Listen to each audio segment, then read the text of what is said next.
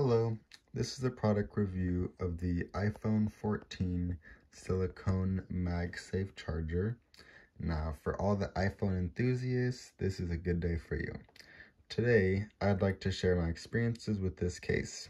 If you're looking for a protective case that not only safeguards your iPhone, but also offers the convenience of MagSafe capability, this case is definitely worth considering. First, I'd like to show you guys how sleek it is. I think it's a really, really nice case. These are the Apple cases, so honestly the best quality you can get. And they have a super soft yet sturdy layer of silicone. Now, this is going to protect your iPhone and the case covers the back and sides of your device. You can see a little bit.